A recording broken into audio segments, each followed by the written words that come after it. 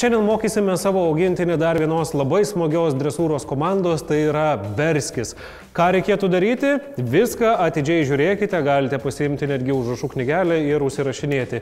Mums padeda Wonder Dog šunų akademijos įkūrėja Gretė Krutovienė kartu su šuniuku Eltonu. Pati pradžia yra tai, kad mes pasisodiname šunį prieš save, parodome, kad turime skanukų, galima vieną skanuką duoti, tuomet paguldome, kai šuo atsigula, tuomet jau pasiimkite, galite daugiau skanukų pasiimti į delną, pridėti prie jo nosytės ir po truputį sukti jo nosytę kartu su savo ranka link kairio pėties ir vos tik tai šuo pasuko savo galvą, būtinai paskatinkite. Ir tuomet ranką šiek tiek kilstelite ir sukate toliau.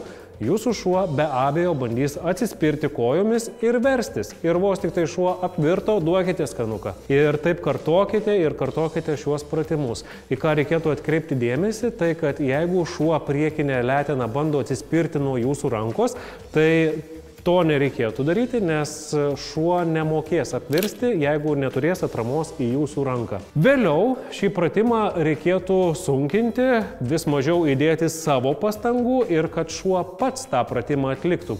Įveskite komandą Verskis ir tiesiog pabandykite jau iš toliau parodyti ranką, ką jis turi daryti.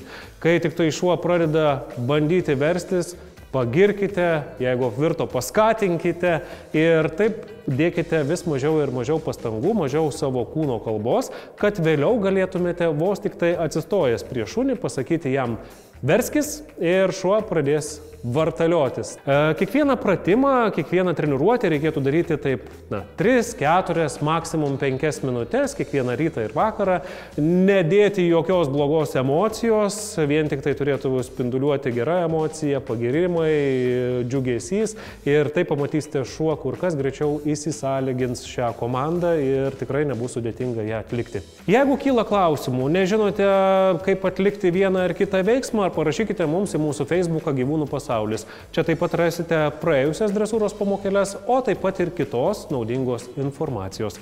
Sėkmės pamokose.